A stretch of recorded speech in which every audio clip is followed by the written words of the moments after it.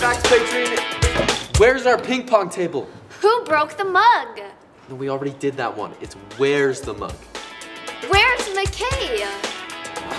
Okay, Cameron with current events. What do we have going on this week?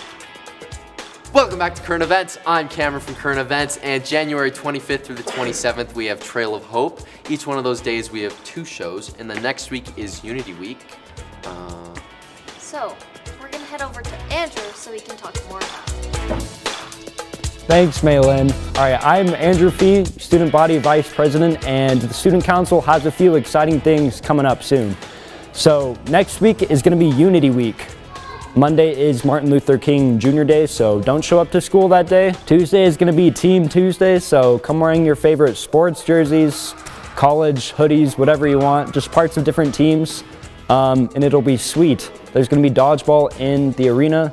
That day at lunch, Mr. Hale might be there, so come and hit the principal with a dodgeball. It's gonna be sweet. Wednesday is gonna be Pajama Wednesday, so come wearing your comfiest clothes. There's also gonna be churros at lunch, so come pick those up before you leave that day. Um, they're gonna be delicious.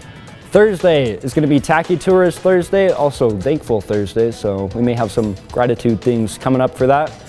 Um, but come wearing your best Tacky Tourist outfit, cameras, Hawaiian shirts, leis, whatever you want. It's gonna be awesome. And Friday, the biggest day of Unity Week. First of all, it's gonna be a neon Friday, so come wearing your brightest colors. There's gonna be a basketball game that night. It's a big game. We wanna get as many people there as we can. Still wear your neon colors. It's gonna be super bright, super fun.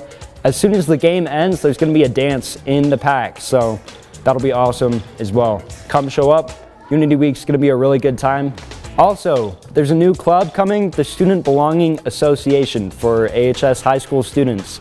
So the purpose of this club is just for kids to come and get to know each other a little better, um, hopefully learn more about each other's backgrounds, different situations that they're in and stuff. This club is really just to help build unity at the school and help students feel like they have a place to get to know each other and to unite together.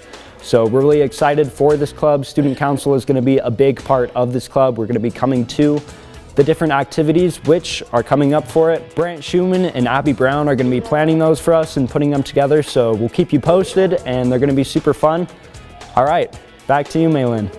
I hope you guys enjoyed watching this week's episode of Patriot News. Thank you all so much. And I hope you guys all remember to be friends, be scholars, and be patriots.